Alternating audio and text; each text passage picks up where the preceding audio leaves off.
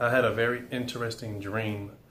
Um, whether if it's prophetic or not, or just a regular dream, I'm not too sure about, but I believe it does have some sort of significant meaning to it. So I'm just keeping a record of it as I'm doing with most of my dreams. Sometimes I write it down, or I'll just, you know, make a video of it, just add in some sort of detail and animation so you can guys, you can see the perspective of what I have uh, envisioned. It started off, I was outside.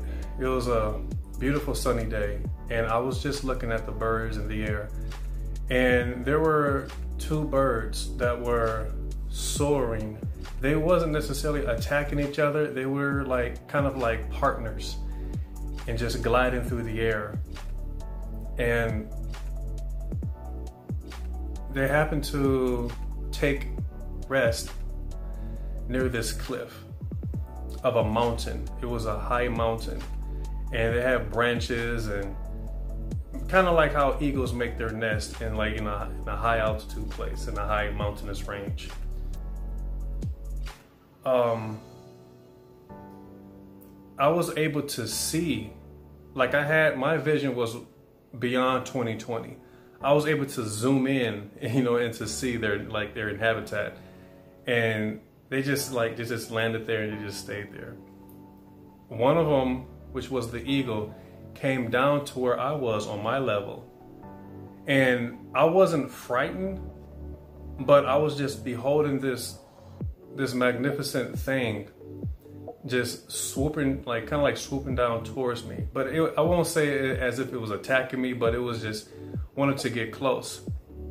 And when I seen that, I, I mean, in my mind, I happened to like go in, I went into the house it's a new, different scenery. I went into a house and went to the refrigerator quickly and grabbed like some lunch meat. I'm not sure if they eat lunch meat. I don't know. I know they eat like, you know, some small animals and stuff, but I happened to grab some lunch meat and I happened to feed it to him. And it was like it was just on my couch. Like I said, this is like a new place, whatever. And it was just eating. Like I was feeding it to him, and it was just eating what I was giving him. This the uh, the lunch meat. It was like it was my pet. That's what it felt like in the dream. Like it was my pet, and I was just, you know, giving giving him something to eat. And I happened to pull my phone out and I started recording. Now, in some of the dreams that I had recently, uh, I tried to put my phone on and like record something or take a picture. It did not go well. But with this probably being the first time I had a good film of it, and I just turned my phone on and started recording. And I'm like, you know, I wanted to show the people like, well, I'm actually feeding this eagle. You know, it was a huge eagle. It like a normal sized eagle. Um, can't really give the exact in, in, in a measurement, but it was it was pretty big. I, I would say maybe maybe three feet in height, like around there, three feet in height. It was just standing like standing upward on the couch, and now this the scene necessarily didn't change, but now my focus was on this on the mountain where they currently were before. That same bird um, that was there, it, it stayed there and I realized like this bird wasn't a normal bird, this was actually a phoenix. Many have categorized this ancient bird, this mythological bird, the phoenix, something is part of being folklore. This mystical creature, this flying bird that maybe existed a couple thousand years ago, or maybe it's just come out of a you know a person's imaginations. I, I don't know. Maybe it did exist. I can't really say if it did or not, but in my dream, this was I must say this is the first time I ever seen something like that. And the and this bird didn't look like what other people depicted to be, even online or movies. Like you see in Chronicles of Narnia, they showed the phoenix. This bird was humongous. It was enormous in size. It I can't even if if I was close to it, I couldn't even carry it. That's how big it was. It was maybe three times bigger than me. The head was was huge. Like I don't know. I will probably say maybe the head was maybe like six or seven feet. Just the size of the head. Um, and it was pure gold. this bird was pure gold. I tried in the morning, I tried to go online, Google image, um, look up, you know, as some sort of animation to create this image. It, it, did not work. I could not find a gold bird. I had found like pendulums, um, maybe like stickers, uh, images concern, concerning this uh, this this thing that I seen in my dream, this bird, but I, I couldn't. The closest thing that I got to this bird was if you look at this image of this eagle right here, it was looking just, it didn't look like it, but just how his face was, it was just like that. There was no mountainous background image. He, it was just, he was high in the, in the mountains. Behind him was just, was the, uh, was the sky. But just imagine, you know what I'm saying, this, this phoenix bird, pure gold.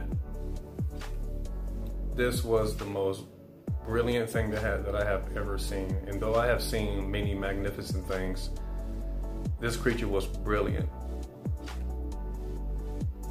This creature was so brilliant. It was so beautiful. It wasn't bothered by anybody, and this bird wasn't bothering no one. Just to himself. It was calm. It was at ease. And it was just looking around. That's it. Not like it's worried, it's just living. And that was the end of the dream. And I woke up praying, like, God, what is the meaning of this dream?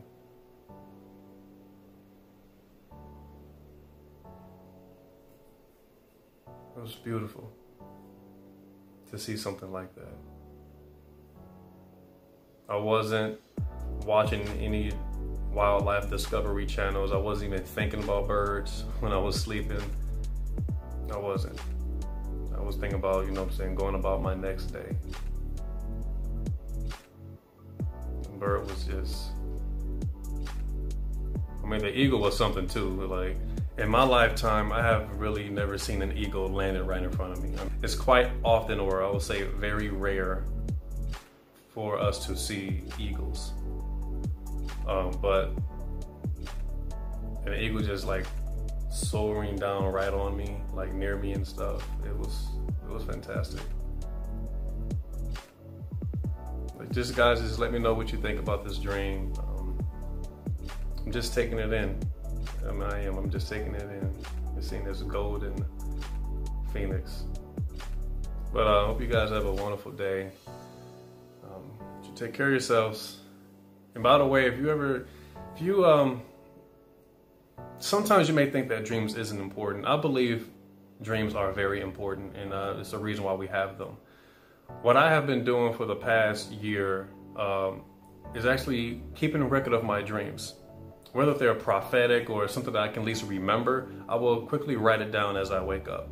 And sometimes if it's something like, you know, a, prophetic dream that I know it, you know I'm saying, the meaning or uh, anything like heaven or things like that or a message, I would just do my best to like get as much detail as I can and present it to you, on, you know, on YouTube. But uh, other than that, just keep a record of your dreams. There's nothing wrong writing them down on your notes. So if you have a journal, a diary, you'd be surprised that you know there's some things that can be revealed as you um, as you're writing them down. Um, but yeah, that's just want to share that with you. So you guys take care of yourselves.